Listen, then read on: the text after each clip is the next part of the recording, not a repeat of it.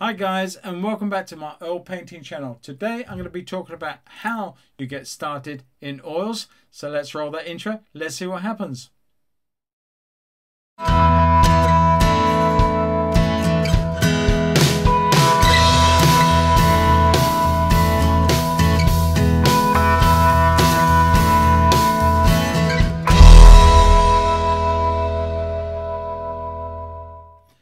Hi everybody, welcome back. Now recently a couple of my patrons have asked me, Paul, what do we need to do to get started in all? What stuff do we need to buy? How do we go about it? So I felt that it'd be really nice to sit down, make a little video that would not just help them, but also help everybody else out there who is thinking right now of getting into oil for the very first time. And even if they've been in oil a little while, it's still worth having a look at for a few bits of information that might well be useful to you. Okay, everybody, before we go any further, let's talk about this stuff. This is what it's all about. This is oil color. And what is oil color? Well, it is merely a pigment and it is a binder. No different to watercolors, pastels, or acrylics. There is a pigment and it goes by a scientific number, normally a code PB maybe or something else. Whatever it is, it is the same number around the world. Doesn't matter what a color man who produces a paint calls it, it has a number, and that's really what you should be guided by. The thing also is that it can come and be bound with many other types of products. Now, the thing is that the more expensive paints are really refined and they have a lot of high pigment concentration and to a very well refined medium, such as linseed but it could also be a walnut oil. It could be many other oils that are put to oil paint to create the paint that you use out of the tube. The most common, of course, is linseed oil.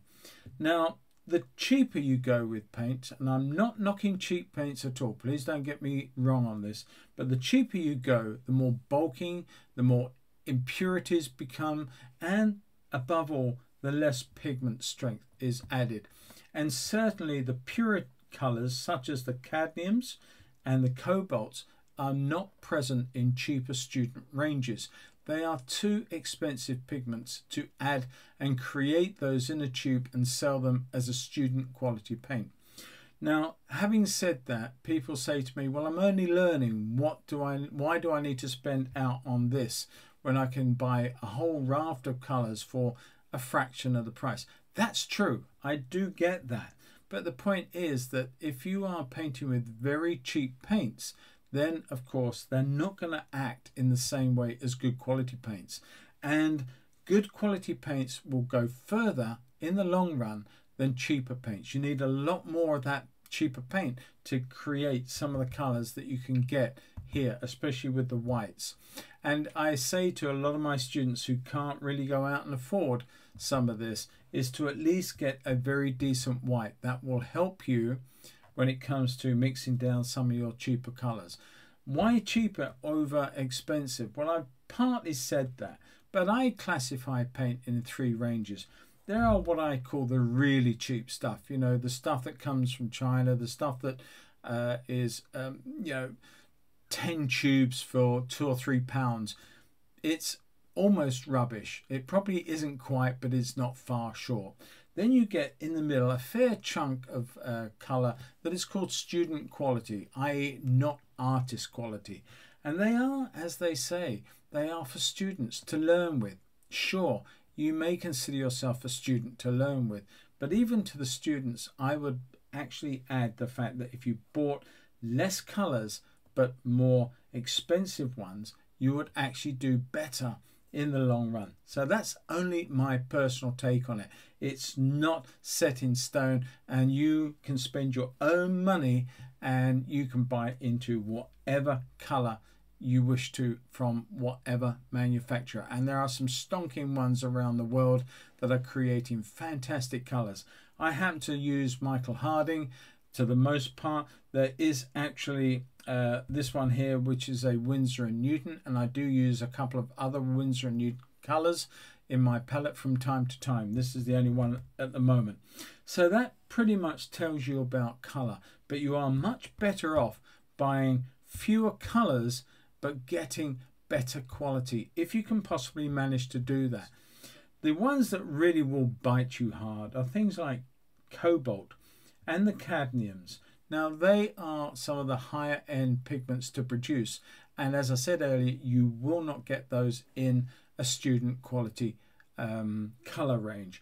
Uh, they are hues, they are mimics, they are chemical um, made up with cheaper pigment colors to resemble the cadmiums and the cobalts, but they actually do not white out as pure as these will white out. So you do get what you work for, uh, you do get what you pay for, and if if the budget is really pushed to get started, then maybe consider, as I said, a few student qualities or lesser range paints, but always buy a top quality white to mix with them. I always find that student quality whites are so uh, impure. A little quick touch on other paints while I'm on this subject. There is a, a Griffin range or an Alkyd range from other companies. They are oils that may have a lot less pigment in them, but they have a quick drying agent in them. Now you can use things like Liquin here in a jar. This is not a proper jar of Liquin, but it is just decanted into a smaller jar so it doesn't go off. Um, but Liquin is the same sort of component that you'll find in an Alkyd uh, paint, whereby it has a property about it that causes the paint to set up and dry a lot faster than if it were not present. But you do pay um, probably a little less for an Alkyd medium, but I don't find or have never found the pigments to be that good. They're not as strong as getting a decent paint. So that's just something on there. And the other one that I know very little about is water soluble oils. And there's nothing wrong with them, I'm sure. I've never really used them. I did test them for a company once, wasn't really happy, but that's another story. There's got nothing to do with the product itself. Uh, I just find that when you, uh, the old adage, oil and water don't mix. Now, I, I, I stand to be proven wrong, but I do believe that oil paint is oil paint, watercolor is watercolor, and the two really doesn't do not want to really mix. But anyway, that I leave up to you. But I can't tell you much about water soluble oils. Okay, now I've been rambling on about the paint. Let's talk about the surfaces that you can work on. Now, in theory, you can use any surface to oil paint on. And the idea is that you need a surface that is not so absorbent. You need a surface that will take the paint. Now you could use cartridge paper and you could actually sort of rub that over with candle wax and I've done it whereby you just literally seal that cartridge paper off and then you can paint on that. It's not as good but it does work and you could also use uh, a gesso. You can take a sketchbook, a standard cartridge sketchbook or indeed a watercolor piece of paper or anything you like and you can actually then put some clear gesso over the top. I will try and leave some links in the description underneath this video for you to look at and then you can go off and check out what's available. But gesso isn't cheap but it is a, a, a like an acrylic primer to any surface. Now this indeed, this piece of board, this is just 2.5 millimeter picture framers MDF. Now you can buy something very similar. You can buy in America, you can buy something called Masonite, which is double sided tempered uh, hardboard. We don't have Masonite in this country, but what we do have is MDF, which is maximum or medium density fiberboard. Not quite sure which way that goes, but basically it is a glued composite board. Now the thing is that if you cut this stuff, be aware, wear a face mask, do it outside. If you're going to sand the edges, even more care because the glues are quite carcinogenic and you don't want to be breathing any of the fine particles of this in as you're setting it up. But once you've got your board cut and many picture frame companies run a service where you can buy this board pre-cut in packs of so many and uh, there you don't even have to worry about it and they all come out the same size. But what I do is I give my board three coats of a gesso. Now it is one. In whatever direction you can be very very uh, fine with it. Let me just show you. This is another one and you can see the difference between the rough brush marks on here and what is a very, very fine, smooth surface. This has had several coats on, but they've been laid on with a very fine uh, foam roller, the sort of one that you would use behind a um, uh, a radiator to to paint that. Same sort of thing, but just finely on, and you keep working it until it's almost dry and it becomes quite stipply.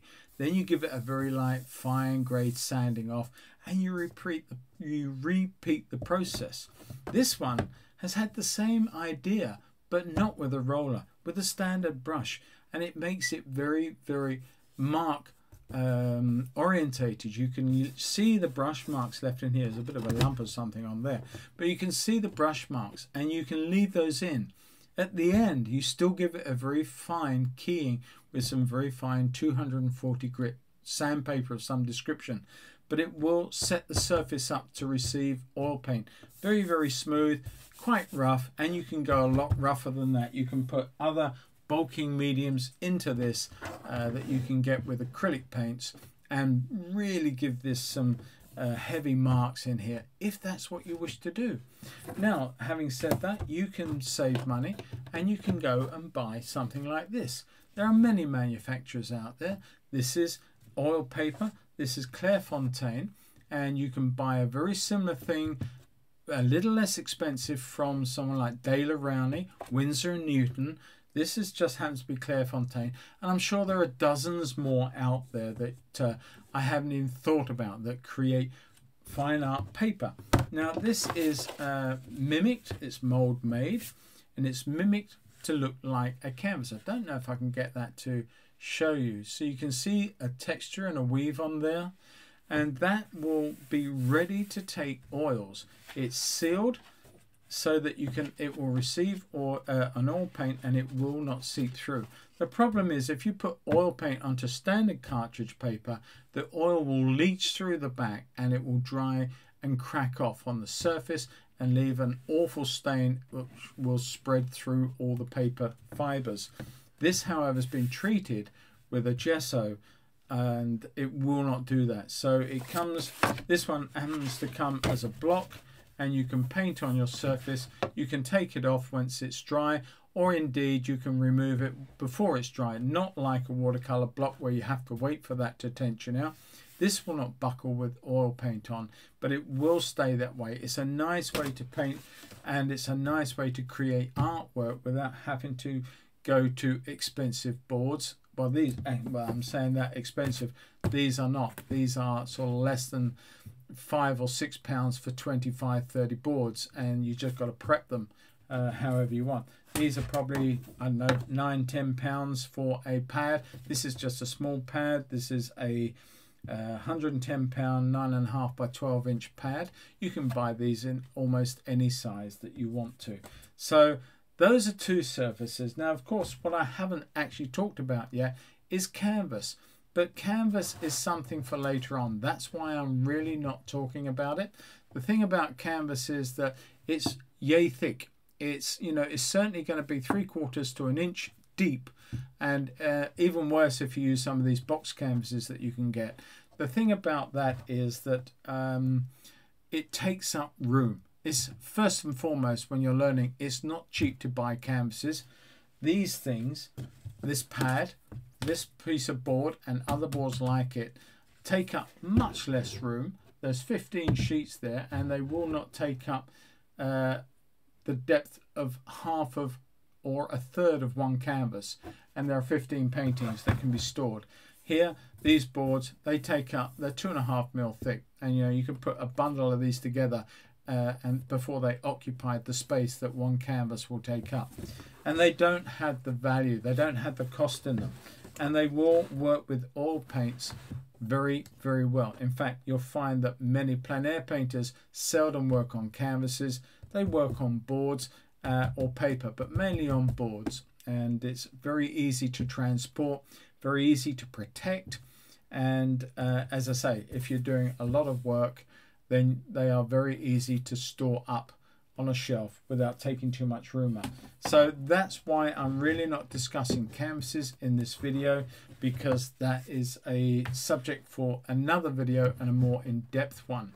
So we've talked about that paper and we talked about the color. Let's talk about brushes. Now brushes are very, very personal. I've got heaps of them. This is one of probably about eight or nine different sets of brushes that I carry. Now, I personally, and this is personal, like synthetics. I like to have that nylon hair. It gives a softer mark to when I create an oil painting. But the traditional one is, of course, hog. Hog bristles. Let's get rid of that for a minute. Hog brushes. Now, hog is, as it says, it's pig's hair. And it's a lot coarser. It can also be a lot more brittle. It can break off with constant work and you find little bits breaking off on your brush. And the thing about oil painting is that it is extremely destructive to any brush. If you've got a canvas surface, a coarse surface, unlike the, the subtleties of watercolor paper, oil paper or oil canvases are very, very hard on any brush and they will destroy a brush. You can see the shape of this beautiful uh, dagger.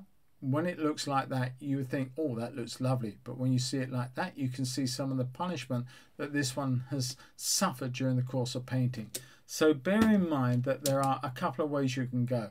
Not everybody likes these, not everybody likes these. And it depends on where you want to go as to what you invest your money in.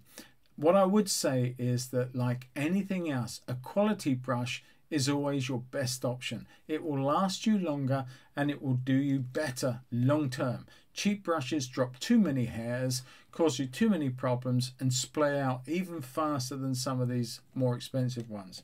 But even if a brush has got worn, like this one, or any of the others that I have here, um, they have still got a purpose long term. Uh, so don't just oust them out and dump them. Uh, they can be found uh, useful when it comes down to some other way of painting. So yeah, uh, as to the type of brush, well, I use Rosemary and Company. You all know that. And if any of you are sort of driven to go and buy some from her, whatever whether it's a watercolor, oil, or acrylic, or anything else, then always think about me. If you wouldn't mind just putting a uh, my name, Paul Apps, uh, in capitals, unbroken, uh, into the affiliate link tab when you go to order, that will help me out tremendously, and I'd appreciate that a lot. That's the sales pitch over. But let's get back to these. Now, what ones do you want? Well, to start off with, then I would go for maybe a couple of each types. I would go for two sizes of dagger. They're such a useful brush. You can see how badly I've looked after this one. There's old paint that has not been cleaned off properly by me, but we'll go into that. And um, so I would go for two sizes of these, maybe the large and maybe the half size, so that you get two different uh, widths. And then there is a thing called a filbert. Now you can get short or long ones. I prefer the spring in a long filbert, but a couple of different sizes maybe if you can afford to. And flats, uh, I go for long flats. Again, I like the spring. And I go for a short and a, and a large one. You know, if you can afford more, then buy more.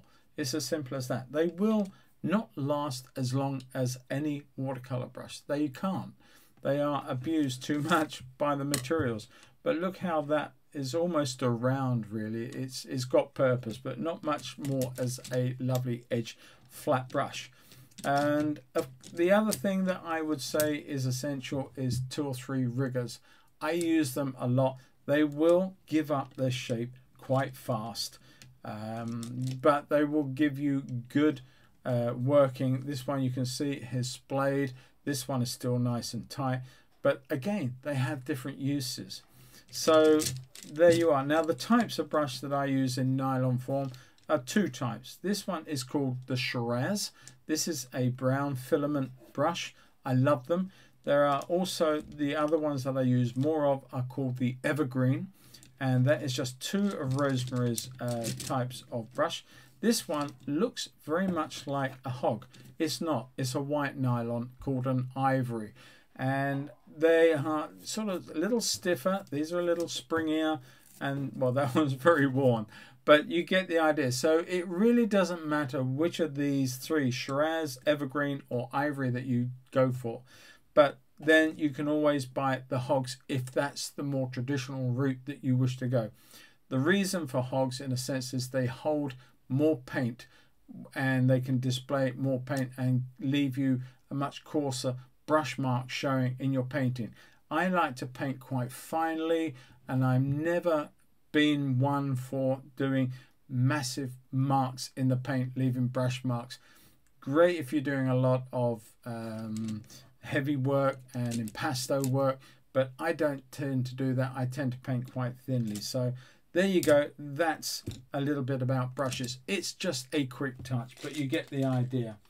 When it comes to cleaning brushes, and you've seen how badly I've done that process sometimes, but when you do that, then one thing that you can do, one thing you will need is a medium. Now this is a solvent based medium and I'm afraid this is where solvents are getting a bad name overall. Some of the earlier ones, I mean, for many years I worked in um, sort of some of the very cheap um, spirits that you can buy from do-it-alls and and uh, decorator shops, and they are really awful and they smell really bad. But over time, there have been companies that have come out with different other products. Now, one of them is a thing called um, uh, Zest-it, which is Z E S T hyphen I T. Another one is Gamsol from America, and there are no end of others. They are odorless thinners. They are not smelly, as the name would suggest, but they are very, very good at cleaning your brushes. Now, I have seen people use this in and use them as mediums. Indeed, I've done so myself. I choose not to do that uh, with this. I merely buy the brush cleaner. That's all I use it for. I don't use it as a medium, although I do know that this product has been sold as a medium because it's joined with other oils and other things. That all said and done, uh, there are other things that you can buy as mediums, and I touch on those right at the end. What do I put mine in? Well, I bought one of these um, sort of metal you can see how goopy that is, awful. But every so often I treat it to a clean up, pour this off, clean it out and start afresh. But never ever tip this down the drain.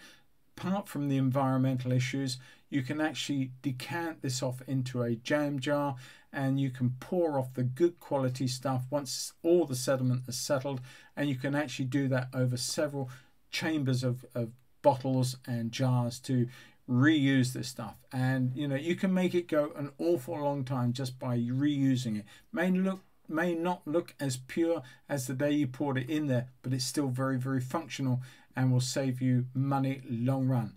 And just get rid of all the stuff. Don't be tempted to use the stuff that's sludgy in the bottom it doesn't dry it doesn't work it hasn't got the backup to congeal and to set up as a paint it will not hold so forget that just dump it um, but you can, as I say, siphon off the good stuff once it's settled and carry on using it. And all I do with this, it's uh, this. I mean, there are very this pot. There are many on the market. It is just a ten pounds pot off of Amazon or Jackson's or one of these other companies. There are some very expensive ones. You know, I've seen Holbein ones that are looking very, very good, but they're a huge amount of money and I don't believe that they're worth that. Okay, so let's quickly talk about some of the things that you can use to make your paint move out of the tube. Now, the thing is that the one of the best ones, one of the easiest to obtain is a thing called Liquin. Liquin Original. This is Liquin Original. It's decanted out of a larger bottle into a small uh, preserve pot, but that will go hard and horrible after a while and as you can see constantly dipping in will pick up color from your brushes too and it will influence other mixes. But look at it, and it doesn't move. It's sort of sitting there. It's not completely thixotropic. There is a version called Impasto Liquid, which comes in a tube and that can squeeze out onto your painting surface, onto your palette, as it were, and will not move. And a lot of plein air painters use the Impasto does a very very similar thing but they don't have to have extra pots kicking around knocking off onto the floor or onto the sand or wherever it is and getting wrecked. They can put a little bit out on their palette and work with that. But then there is also the same product, but is a very fine liquid. This is fine detail, same sort of thing. As you can see, very fluid. It's just like um, a syrup, maybe a little bit less than cream, but certainly a lot more than milk it would be. But this is doing the same detail stuff as this one will. It's just if you want to use a rigger and to put the paint on in very, very fine strokes, this will allow that paint to free move but still have the drying in. There are other Alkyd mediums out there. This is another company. This is alkyd Flow Medium. Same sort of principle, as you can see, very fluidic, and it's no different to the uh, Winsor & Newton product. Then you get things that we all hear about, refined linseed oils, and they can be mixed with distilled turpentine, which is a product sap product from um, uh, conifer trees, um, that sort of thing. And um, it's got a lovely, I love that pine, uh, pine trees, that sort of thing. I, I love the smell of that stuff. I can sit and smell that all day long. And I don't know if that's good for me, but I can do that. But the traditional mixes are using a good English distilled turpentine with a very good refined linseed oil. There are a number out there on the market to choose from. There is no one product that I would suggest above another and um, it's what your purse will go to. This is a large bottle, you can buy a smaller bottle, you don't need that much of it. So you can mix this into whatever ratio you want and you can use it as a medium to push your paint around the canvas. I would suggest something like 50-50 uh, or, or 40-60, uh, something like that, depending on how free you want that to mix down. But bear in mind that when you are looking at painting in uh, oils, this is what I call dry brush. When I tell my students to paint dry brush, I'm telling them it's not dry. But what I'm telling them is to try and use the paint almost directly out of the tube if they can. Sometimes it's stiff, sometimes the environment is cold, and sometimes you have to add a medium to that to make it move. Now, I would say use a dry brush, but I would also say use this because what happens is this will allow that paint to move, but at the same time, it will allow uh, the thing to dry up faster. So that's a very quick touch on a, a mediums. We've done the surfaces, we've done the brushes, we've done the paint. What else is there? Well, let's just talk about, we've done all the products to get set up with.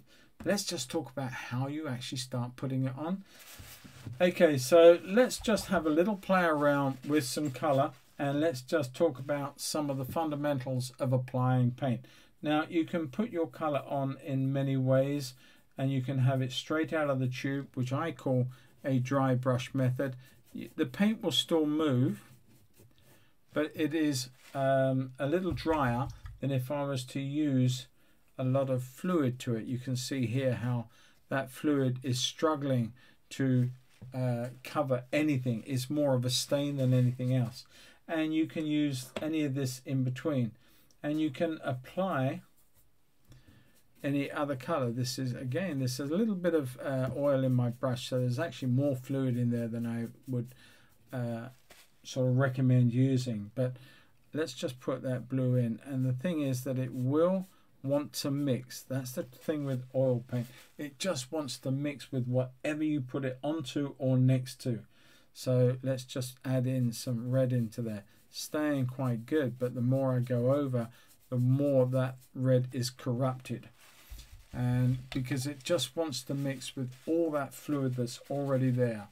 When you clean your brush out very, very quickly, when you do that, then especially if it's an oil, it's like a citrus oil or a solvent citrus, such as uh, Zest-it, the oil will travel down here. You've cleaned your brush out, but you've the oil's traveled down here and will sit in the root of the brush.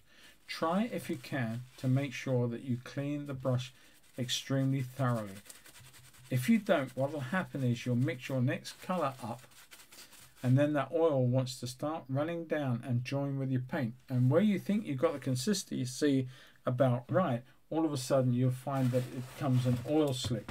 So just be aware of that, but make sure that you clean your brush thoroughly. Don't scrub it, you'll destroy it.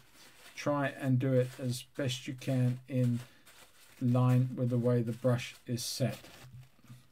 Okay, so one of the hardest things that people ask me about is they want to keep working, but it takes so long to dry between belts. One thing you can do is start to learn in little bits of paper how to work wet in wet. And the way that you can work wet in wet is deciding how wet the paint is going to be when you apply it. You really just want to put on enough to make the statement that you intend to make. And any more fluid then you're going to have problems. You're going to have problems working that paint into the next one or laying over the top. We've all done it, we've all been there, but if you work too much, and what I see people do is they put like a color on here and they keep working it, working it, working it, and all you've done is created whatever that and that joined together make that. Now, the nice thing about working wet in wet is to try if you can and apply your color in as one mark. The more you put it on, the more that mark will disappear and become dull and degraded. A nice clean mark will keep it nice and fresh and that's what you're aiming to do. So you can work wet in wet as long as you are being very careful that you don't overwork that passage of paint you've just applied. Equally, you can put this on, you can let it dry, and you can come back over that without the fear of losing it into the background. So that is the other way. I'm just merely talking about wet and wet at this time. Now, with watercolor, traditionally you work light to dark, and therefore your white paper is your brightest mark, and your darks are your darkest mark at the end. They are the final things that you put in.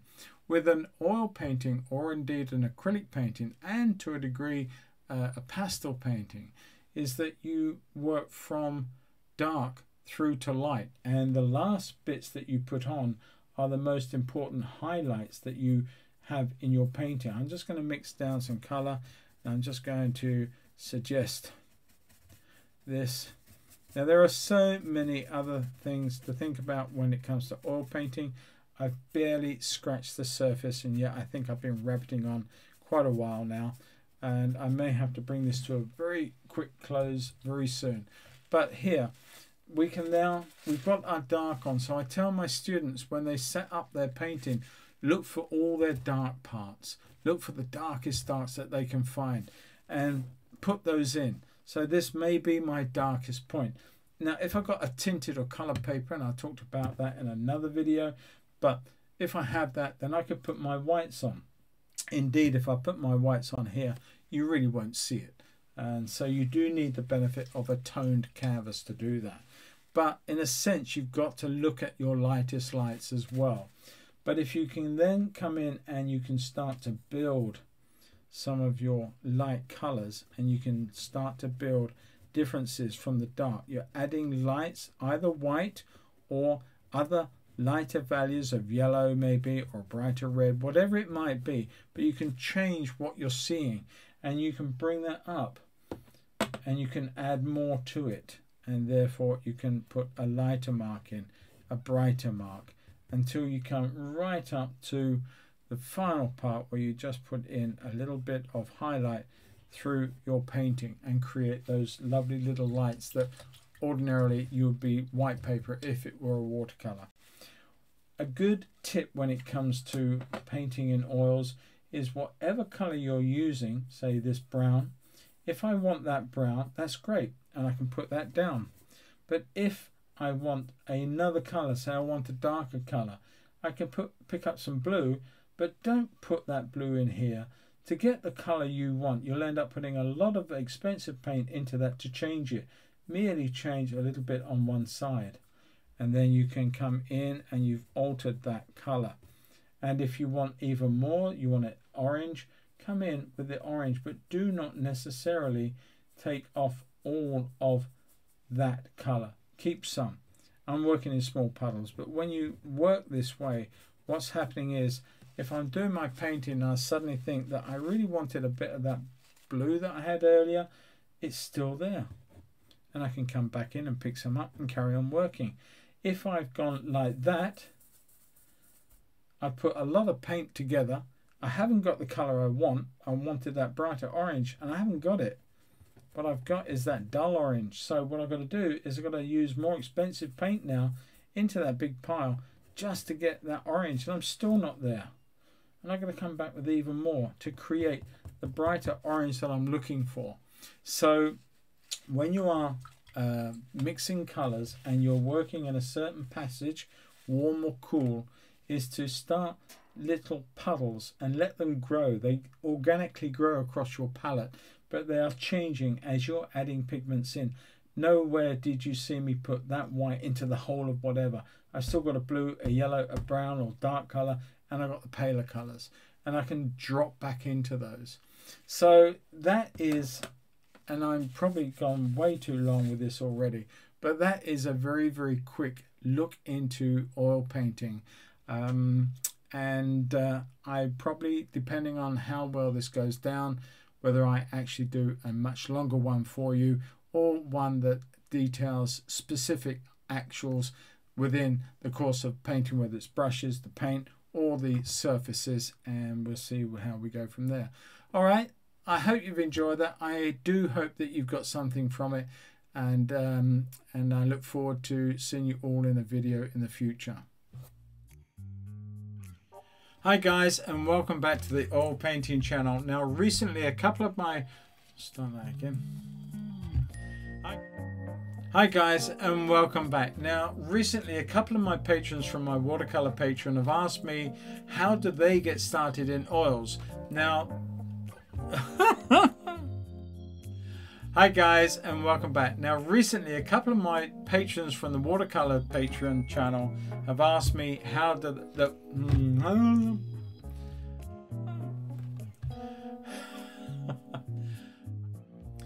Hi guys and welcome back. Now as I said at the start